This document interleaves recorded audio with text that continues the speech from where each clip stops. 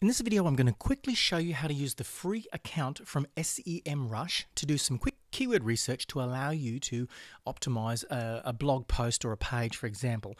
Um, this will save you from having to pay for the full account until you're ready. Now, there are a ton of great resources to help you do keyword research, but in this video, I'm going to show you how to do it really quick and really fast, just so you can quickly identify the right keyword phrases. Now, what I suggest you do is go to SEMrush and sign up for a free account, and the free account will give you up to 10 searches a day that you can use to, to identify specific phrases or keywords for your keyword research. In this case here, I've got a, a paid account, so I'm just going to log in that, but the, user, the usage doesn't change.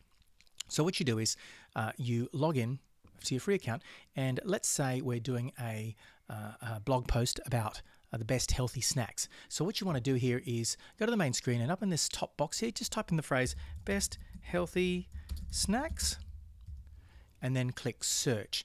Now what will happen is the uh, SEMrush will go away and pull pull back the results. Now you'll notice the one one of the key things you want to see up here is the geography that's selected. In this case here mine is Australia. If yours is in the US or the UK then select the countries. That's really important because the search volume changes per geography that you're in. So in this case here I've put in AU, I've put in my seed keyword phrase, right? Best healthy snacks.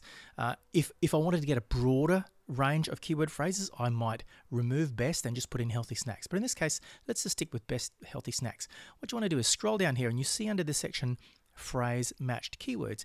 It's given you a range of the different ways that this uh, keyword phrase best healthy snacks is used in a variety of different searches. Now what you can do is click view full report and this will give you the full and complete list of keyword phrases that include the text best healthy snacks. And what you can see here is those are the keyword phrases and that is the search volume. Let's say I wanted to go up and see what healthy snacks generated. Just go up here, delete that, and then run the search again using healthy snacks as the seed keyword phrase. And now what you'll see, uh, wait until the engine generates the data, scroll down, and you can see here now we've got a broader range of keyword phrases that just start with Healthy Snacks. And you can see Healthy Snacks has 22,000 monthly searches.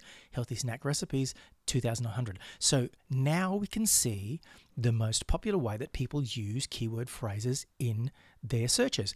And so now, if you were to write a blog post about healthy snacks or healthy snack ideas, you can write it in the same way that people search for it. So rather than search, writing a, a blog post that was titled, the top 50 snacks to keep you healthy and bright, you could write a blog post title that included the phrase healthy snacks. So, for example, top 10 healthy snacks for work or for school or for lunch snacks. Does that make sense? Straightforward. That's it. So, simply get a free SEMrush account.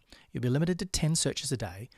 Enter the seed keyword phrase, which is typically the shortest, but that represents the, the broadest amount of volume, and then click search and then have a look at all the different variations of keyword phrases. You can see the volumes here that will tell you which is the most commonly used uh, search phrase, and then pick your variation and write your blog post to include these keyword phrases. So, you know, top 10 healthy snacks for toddlers. And there you go. That's how you quickly use the free account for SEMrush to do quick and dirty blog post title keyword research.